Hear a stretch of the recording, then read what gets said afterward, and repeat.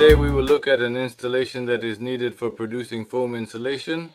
Foam insulation is used to fill voids in walls and ceilings, improving their properties, such as insulation, and replacing foam plastic. It can be said that this is liquid foam. It is non-flammable and penetrates all pores, setting within a couple of hours initially, then for two weeks, and it has no smell or taste. Such an installation is being lowered in Kharkiv. Characteristics does it have? The brand is Foamisol B. In principle, I have not tried it yet. I have not tested it. Therefore, we need to do this now. Check how it works, what it is capable of. I have already purchased a compressor for it, which I mentioned in the previous video. How to assemble it. Its capacity is 350 liters per minute, as recommended by the manufacturer, and I bought all the components for producing foam insulation. Our task now is to start this installation, check it, and insulate the walls of my house, which is not insulated yet. So, let's get started. The manufacturer provides a small reminder, an operating manual. It is available in electronic form on the manufacturer's website. Therefore, it needs to be printed out, and you should ask the manufacturer for the password to open it from the archive. It consists of three sheets. Two sheets are the instructions, and the third sheet is the recipe for producing foam insulation. To begin with, according to the manufacturer's instructions, it is necessary to tighten the manometers with caps and fill both cylinders completely with water. Checks for leaks.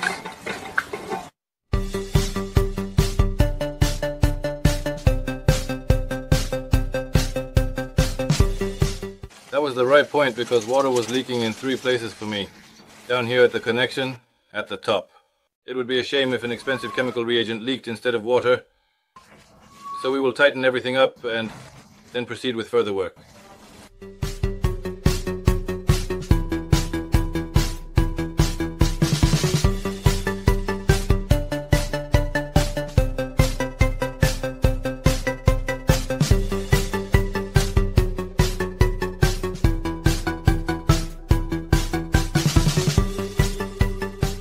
After all the joints and connections of the foam insulation installation are secured and the hose is stained, it is necessary to start insulating the wall. Here I have such a wall made of red brick. It has a well in the center measuring 5 centimeters. If you do not know what size you have. In the well, you need to very carefully take a thin drill, drill a small hole, and use a wire to probe depth of the well and precisely measure it. Here, the clay adobe continues the wall is lined inside, and there is a gap between this brick and the clay adobe that needs to be filled with foam insulation.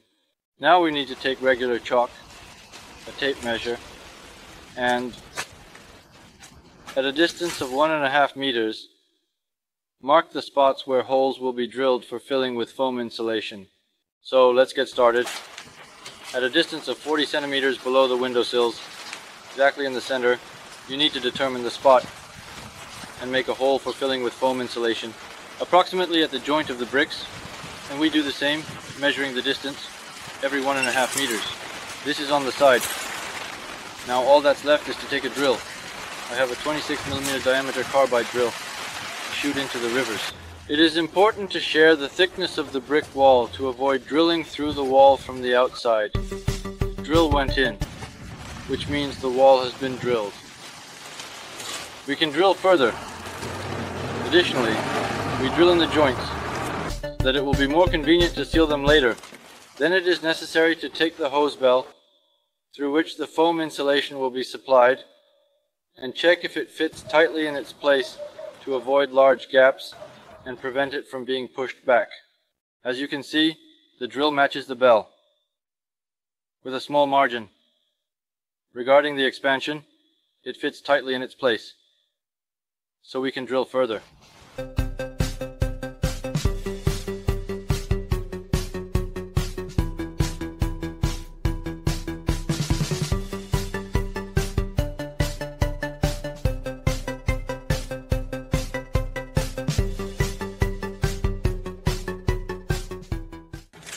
Now we can proceed to filling the voids with foam insulation. The installation for foam insulation is very good, but there is one drawback. This is that the hose, with which the pneumatic connects two receiver cylinders, has a direct connection to one filling well, and to the second, and at the same time, when we pour the resin or solution, there may be a mixing of these substances between the receivers, which will cause a reaction and possible hardening. Masses in receivers. Therefore, to prevent this, let's consider the option of installing an additional valve in the center between these containers.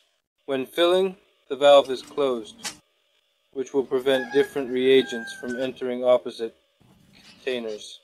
To start, we need to carefully connect the air compressor to our device, which is essential for foam production, ensuring proper air pressure. This connection is vital as it allows the device to function optimally, producing high quality foam efficiently. The most absolutely essential thing is not to forget to open up the intermediate valve so that there is no pressure in one receiver, while there is in the other. Therefore, it needs to have equal pressure and must be open at all times. It is crucial to ensure this in order to maintain balance. Therefore, let us begin by carefully turning on the compressor. The pressure in the receivers should be two full atmospheres, according to the manufacturer's recommendations. The screen is closed due to air pressure. All screens are airtight. Now we need to carefully check these connections for leaks, either by sound or we can soap the connection to check where it is leaking, or simply pour some water on it. The next step will be filling the tanks with resin and foaming agent with water catalyst. For this we unscrew the manometers, which also serve as the lids of these tanks. We securely close the valve that we installed to safely prevent one liquid from spilling over into another. And after that, we can very carefully pour the resin slowly using an improvised river made from a bottle into this container. Here it says resin, here it says foam. Main thing is not to confuse them, because if you mix them up, then that's it. The work will be wasted. You'll have to clean everything completely, rinse it out, and disassemble it. I have KFTI resin. There are special passports for factories and managers. It is made in the city of Severodonetsk. In principle, this indicates that it complies with GOSTI standards. We need to mix this resin so that it has a uniform composition. Here it has such a consistency and texture, and it is slightly sticky. A bit. We fill using a small funnel, carefully trying to spill less.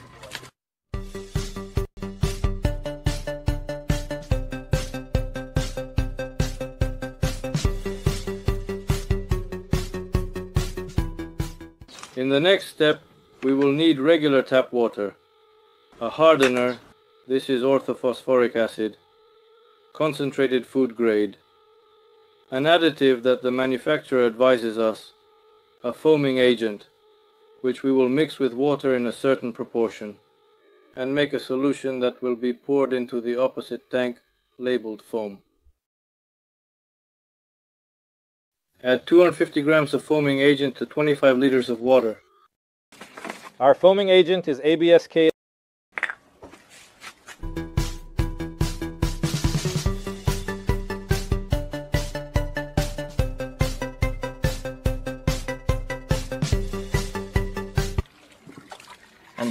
Became foam. Pour in 150 milligrams of catalyst, mix everything thoroughly, and add 250 milliliters of additive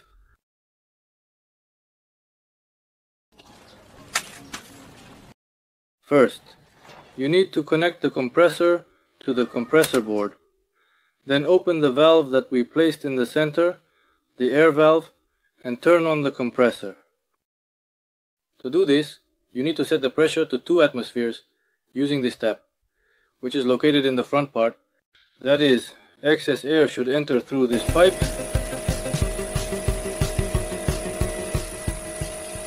At the next stage, we will need a stopwatch. I have it on my phone and a measuring container with a capacity of 1 liter.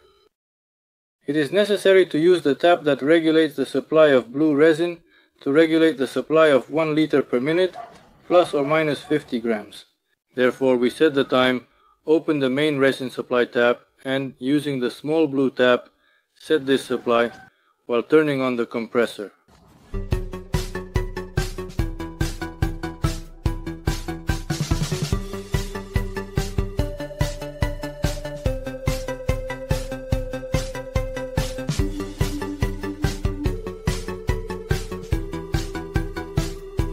Good luck. Uh,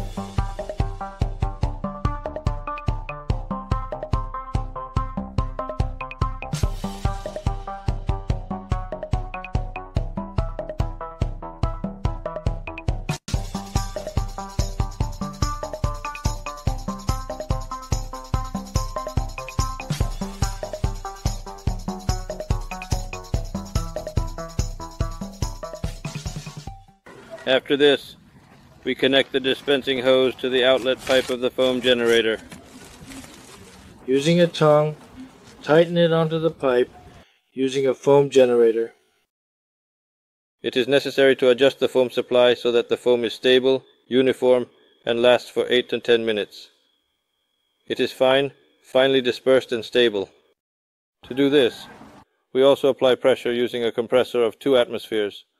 Open the same shutoff screen on the right side as on the resin tap and smoothly open the second adjustment screen without closing it, adjusting the foam supply.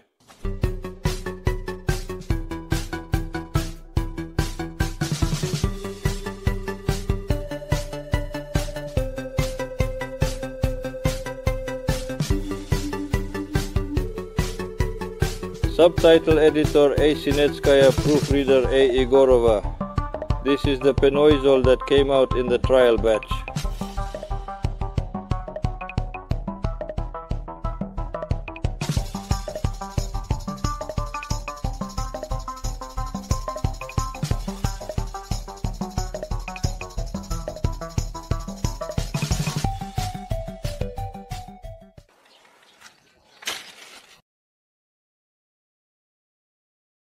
It's been three hours already. He's turned into soft foam. If you press it like this, it has good rigidity. It suits us. The same here is the same. It is not completely dry yet, but completely covered. Here is just a foaming agent. You can see that it is without resin. Now we will fill the walls.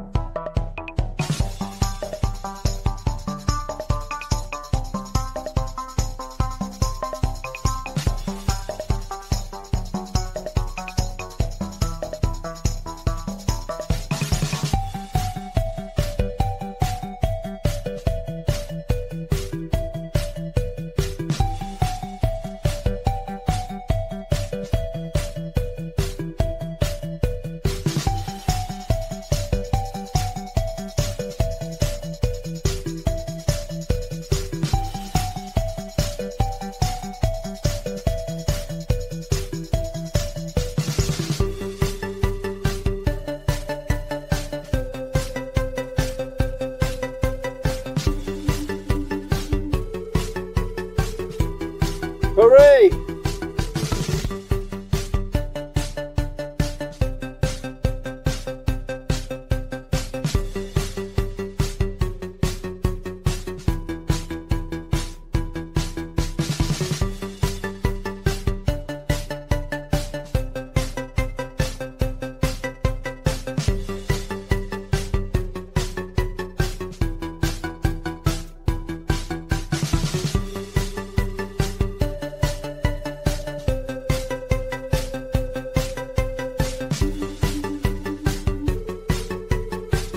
Continued.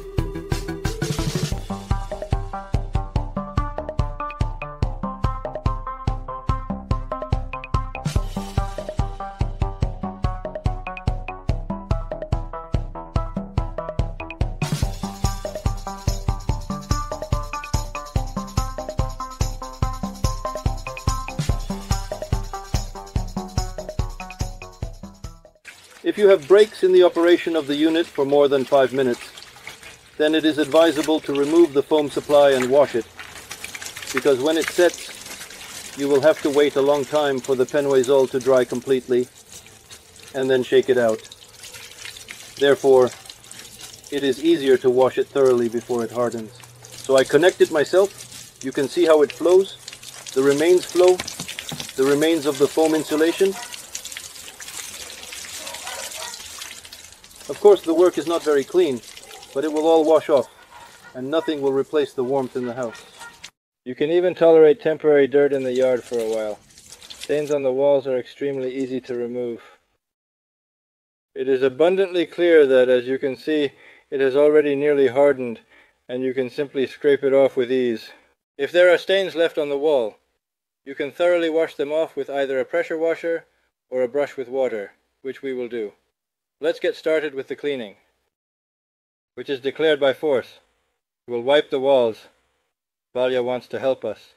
We will take regular clothing, such as shirts and pants, warm water, and other necessary items, and gradually wash away the excess to ensure cleanliness and comfort in a gentle manner, and especially clean everything in these corners. You can do it two to three times to avoid any leftover pasta and birds. Everything is in order, and now we are all set for warmth. Everything washes off beautifully.